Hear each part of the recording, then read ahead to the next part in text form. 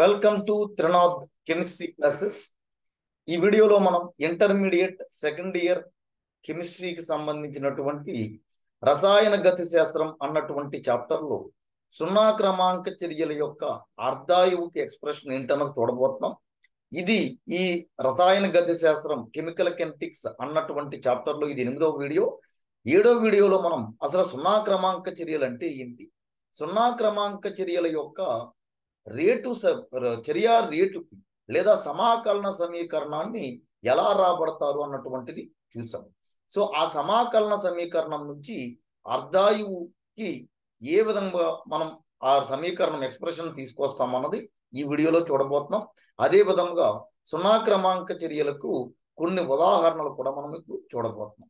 Thank you for watching Trinath chemistry classes please like the video share and subscribe the channel so మనం ఇంతకు ముందు వీడియోలో మనం R gives rise to P అనే ఒక సున్నా క్రమాంక చర్య తీసుకుని దీంట్లో ఆర్ నాట్ అనేది ప్రారంభ గాఢత అనుకున్నాం క్రియాజనకాల ఏమనుకున్నాం ఇక్కడ ప్రారంభ గాఢత అనుకున్నాం.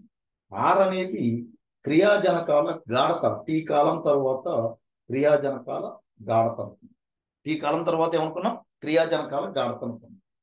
రైట్? దీనికి మనం సమాకలన సమీకరణాన్ని ఎలా రప్పించామంటే కనుక K is equal to R not by R not minus R by so ఇది సమాకలన సమీకరణం అని చెప్పాం ఈ వీడియోలో మనం ఈ సున్నా క్రమాంక చర్యల యొక్క అర్ధాయువుకి సున్నా క్రమాంక చర్యల యొక్క అర్ధాయువుకి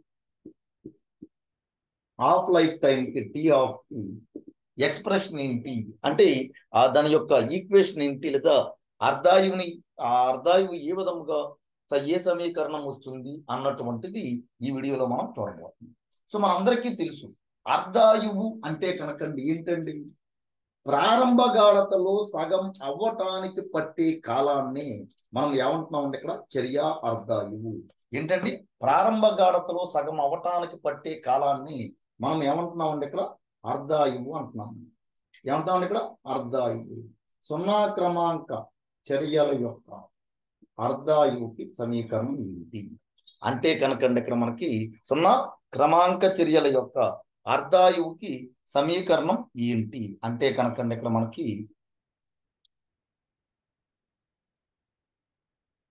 సో చర్య అర్ధాయువు అంటే కనుకండి ప్రారంభ గాఢతలో సగం అవ్వటానికి పట్టే కాలాన్ని ఏమన్నా? చర్య అర్ధాయువు సో ఇప్పుడు t is equal to t half అంటే చర్య అర్ధాయు వద్ద క్రియాజనకాల గాఢత ఎంత ఉంటుందని చెప్పిన ప్రారంభ గాఢతలో సగం ఉంటుంది. రైట్? మనం ఇందాక ఆర్ గ్యూసరేస్ టు పి అనేది ఒక సున్నా క్రమాంక చర్య అనుకున్నాం. ఆర్ నాట్ అనేది ఏమనుకున్నాం? క్రియాజనకాల ప్రారంభ గాఢత అనుకున్నాం. అండ్ ఆర్ అనేది ఏంటంటే కనుకండి టీ కాలం తర్వాత గాఢత ఏమన్నా? టీ కాలం తర్వాత క్రియాజనకాల గాఢత రైట్? సో ఇప్పుడు t is equal to t half దగ్గర. ఏమవుతుందండి ఆర్ ఈజ్ ఈక్వల్ టు ఏమవుతుంది అంటే టీ అనేది టీ ఆఫ్ అయితే కనుక ఆర్ ఎంత అవుతుందండి ఇక్కడ? ఆర్ నాట్ బై టూ ఎంత అవుతుందండి ఇక్కడ అది? R naught by two so ఇప్పుడు ఈ విలువను కనుక దీంట్లో కనుక ప్రతిక్షేపించామనుకోండి k is equal to r naught minus r by t దాంట్లో కనుక అంటే ఇది కాదని మనకు సమాకలన సమీకరణం. ఈ విలువను కనుక మనం దీంట్లో కనుక ప్రతిక్షేపిస్తే కనుక అంటే k is equal to r naught r ప్లేస్లో ఎంత రాయాలి? R naught by two by t so మనకి t is equal to t half దగ్గర ఆర్ ఈజ్ ఈక్వల్ టు ఏమని వచ్చింది? ఆర్ నాట్ బై మనకి సున్నా క్రమాంక చర్య యొక్క ఏమని తెలిసాడు r naught minus r naught by two by t half right so ఇప్పుడు ఈ విలువలు దీంట్లో కనుక సబ్స్టిట్యూట్ చేసామనుకోండి ఏమైందంటే అక్కడ? A is equal to r ప్లేస్లో r naught by two t ప్లేస్లో టీ ఆఫ్ వచ్చింది అంటే t half is equal to r naught by two ఇది సున్నా క్రమాంక చర్య యొక్క అర్ధాయువుకి సమీకరణం రాయమని అడగచ్చు. సో మనకి మనందరికీ తెలుసు r gives rise to p అనేది ఒక సున్నా క్రమాంక చర్య అనుకున్నాం. ఇందులో ఆర్ అనేది ఆర్ నాట్ అనేది క్రియాజనకాల ప్రారంభ గాఢత అనుకున్నాం. ఆర్ నాట్ అనేది ఏమనుకున్నామండి ఇక్కడ? క్రియాజనకాల ప్రారంభ టీ కాలం తర్వాత క్రియాజనకాల యొక్క గాఢత ఆర్ అనుకుంటే కనుక టీ కాలం తర్వాత క్రియాజనకాల గాఢత ఆర్ అనుకుంటే కనుక మనకి అర్ధాయువు దగ్గర ఎక్కడండి ఇక్కడ? అర్ధాయువు దగ్గర మనకి ఈ ప్రారంభ గాఢతలో సగం మాత్రమే ఉంటుంది. అంటే t is equal to t half and r is equal to r naught by two ఇది సమాకలన సమీకరణంలో కే ఈజ్ ఈక్వల్ టు ఏమని తెలుసండి? R naught minus r by t అని తెలిసింది. K is equal to r naught minus r by t అని తెలుసండి right so మనకి దాంట్లో కనుక సబ్స్టిట్యూట్ చేస్తే కనుక r naught minus r naught by two by t so దీన్ని కనుక ప్రతిక్షేపిస్తే కనుకండి ఇది మనకి చర్య యొక్క సున్నా క్రమాంక చర్య యొక్క అర్ధాయుత ఎక్స్ప్రెషన్ అవుతుంది. సో మరి ఈ సున్నా క్రమాంక చర్యలకు ఏవైనా రెండు ఉదాహరణలు రాయమని అడగచ్చు? ఈ సున్నా క్రమాంక చర్యలకు ఉదాహరణలు ఏంటంటే కనుకండి ఒకటి Um, ప్లాటినం సర్ఫేస్ మీద ఎవరి సర్ఫేస్ మీద లెక్కన ప్లాటినం ఉపరితలం. మీద ఉపరితలంపై అమోనియా విఘటన చెందడం అమోనియా ఏం చెందటం ఇక్కడ?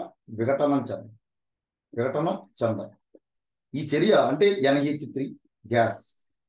Two NH three gas gives rise to N two gas plus three H two gas. Platinum ఉపరితలం.